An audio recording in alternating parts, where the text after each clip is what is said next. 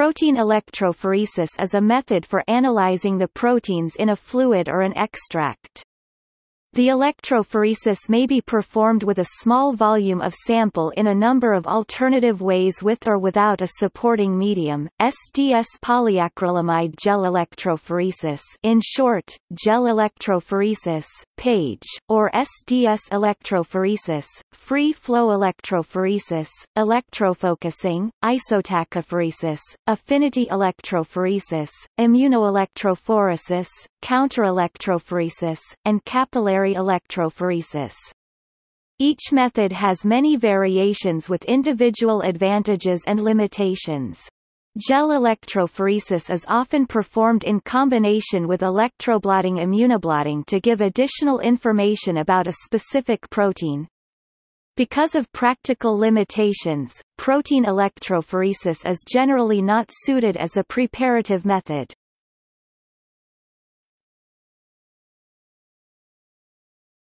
Topic: Denaturing gel methods.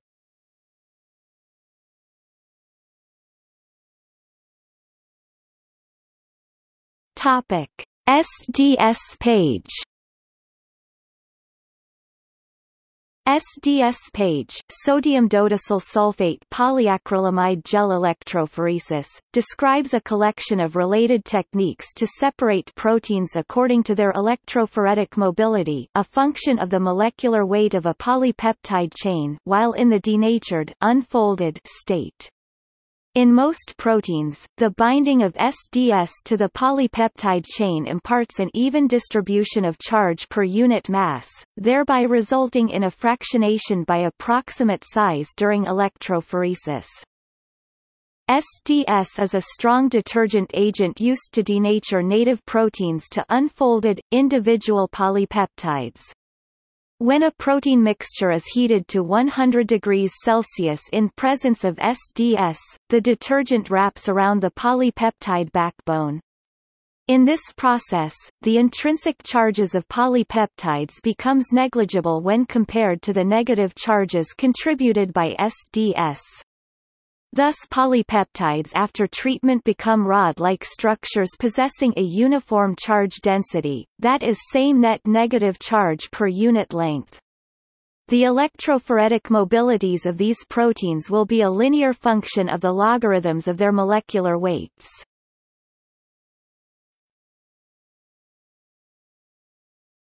Topic: Native gel methods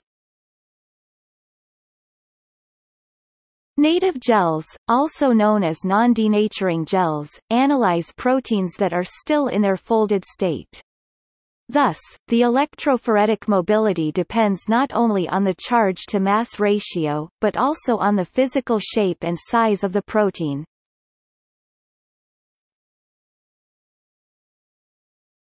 Topic. Blue native page BN page is a native page technique, where the Coomassie brilliant blue dye provides the necessary charges to the protein complexes for the electrophoretic separation. The disadvantage of Coomassie is that in binding to proteins it can act like a detergent causing complexes to dissociate. Another drawback is the potential quenching of chemoluminescence e.g. in subsequent Western blot detection or activity assays or fluorescence of proteins with prosthetic groups e.g. heme or chlorophyll or labeled with fluorescent dyes.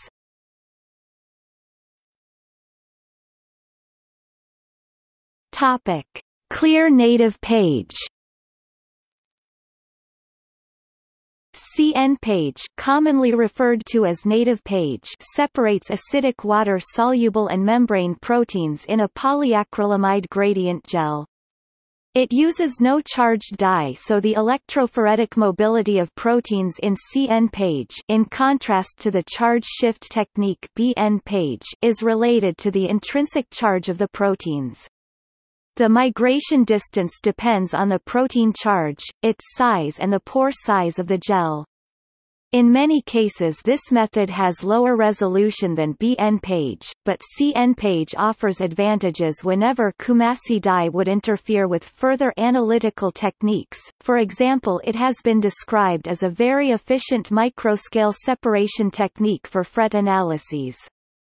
Also CN-Page is milder than BN-Page so it can retain labile supramolecular assemblies of membrane protein complexes that are dissociated under the conditions of BN-Page.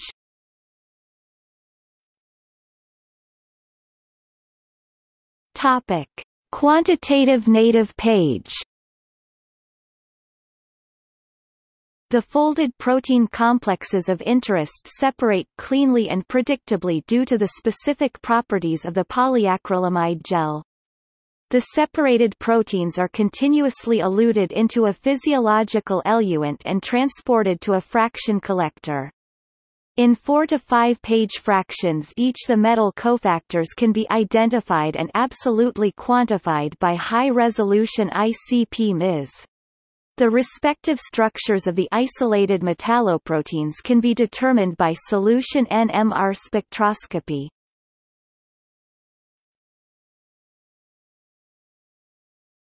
Topic: Buffer systems. Most protein separations are performed using a discontinuous or disk buffer system that significantly enhances the sharpness of the bands within the gel. During electrophoresis in a discontinuous gel system, an ion gradient is formed in the early stage of electrophoresis that causes all of the proteins to focus into a single sharp band. The formation of the ion gradient is achieved by choosing a pH value at which the ions of the buffer are only moderately charged compared to the SDS-coated proteins. These conditions provide an environment in which Kohlrausch's reactions determine the molar conductivity. As a result, SDS-coated proteins are concentrated to several fold in a thin zone of the order of 19 micrometers within a few minutes. At this stage all proteins migrate at the same migration speed by isotachophoresis. This occurs in a region of the gel that has larger pores so that the gel matrix does not retard the migration during the focusing or stacking event. Separation of the proteins by size is achieved in the lower resolving region of the gel. The resolving gel typically has a much smaller pore size, which leads to a sieving effect that now determines the electrophoretic mobility of the proteins. At the same time, the separating part of the gel also has a pH value in which the buffer ions on average carry a greater charge, causing them to outrun the SDS-covered proteins and eliminate the ion gradient and thereby the stacking effect. A very widespread discontinuous buffer system is the tris glycine or Laemmli system that stacks at a pH of 6.8 and resolves at a pH of approximately 8.3 to 9.0. A drawback of this system is that these pH values may promote disulfide bond formation between cysteine residues in the proteins because the pKa of cysteine ranges from 8 to 9 and because reducing agent present in the loading buffer doesn't co-migrate with the proteins. Recent advances in buffering technology alleviate this problem by resolving the proteins at a pH well below the pKa of cysteine e.g., bis-tris, pH 6.5 and include reducing agents e.g. sodium bisulfite that move into the gel ahead of the proteins to maintain a reducing environment. An additional benefit of using buffers with lower pH values is that the acrylamide gel is more stable at lower pH values, so the gels can be stored for long periods of time before use.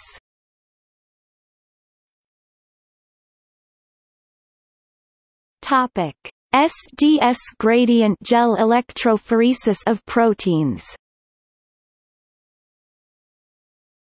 As voltage is applied, the anions and negatively charged sample molecules migrate toward the positive electrode anode in the lower chamber. The leading ion is Cl- high mobility and high concentration. Glycinate is the trailing ion, low mobility and low concentration. SDS protein particles do not migrate freely at the border between the Cl- of the gel buffer and the Gly- of the cathode buffer.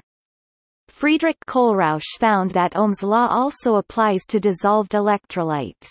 Because of the voltage drop between the Cl- and glycine buffers, proteins are compressed stacked into micrometer-thin layers. The boundary moves through a pore gradient and the protein stack gradually disperses due to a frictional resistance increase of the gel matrix. Stacking and unstacking occurs continuously in the gradient gel, for every protein at a different position. For a complete protein unstacking the polyacrylamide gel concentration must exceed 16% T. The two-gel system of Laemmli is a simple gradient gel.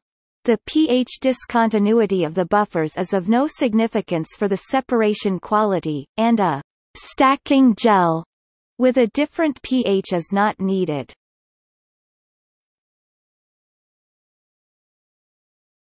Topic: Visualization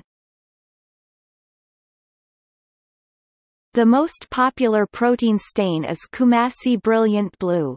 It is an anionic dye, which non-specifically binds to proteins.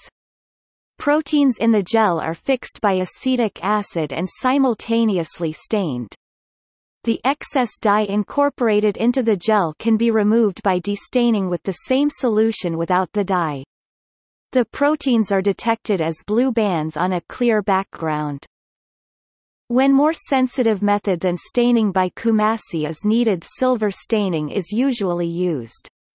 Silver staining is a sensitive procedure to detect trace amounts of proteins in gels, but can also visualize nucleic acid or polysaccharides. Similarly as in nucleic acid gel electrophoresis, tracking dye is often used. Anionic dyes of a known electrophoretic mobility are usually included in the sample buffer. A very common tracking dye is bromophenol blue.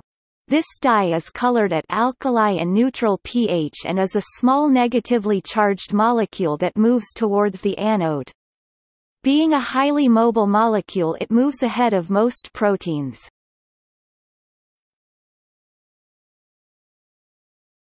Topic. Medical applications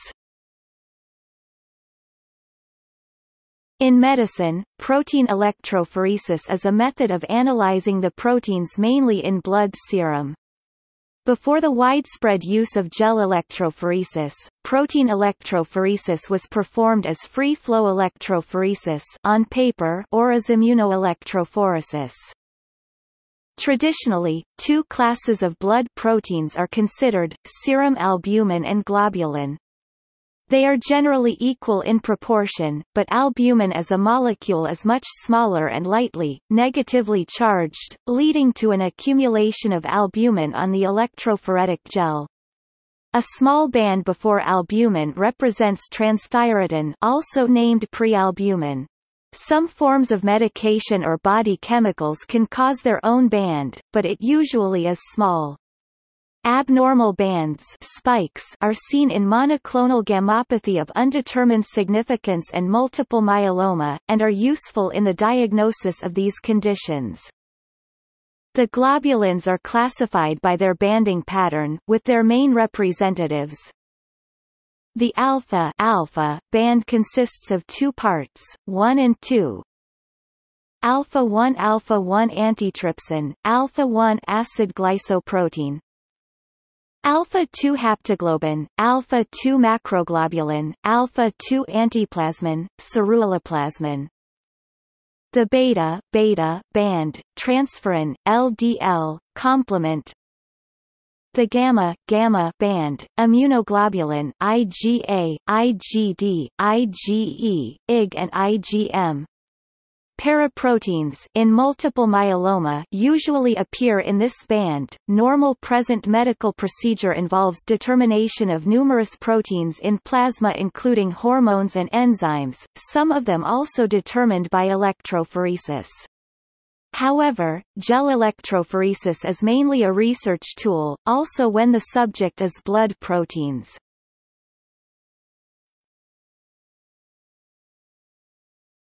Topic. See also Affinity electrophoresis Electroblotting Electrofocusing Polyacrylamide gel electrophoresis, PAGE, or gel electrophoresis. Immunoelectrophoresis. Immunofixation. Native gel electrophoresis. QPNC page. Paraprotein. Fast parallel proteolysis fast PP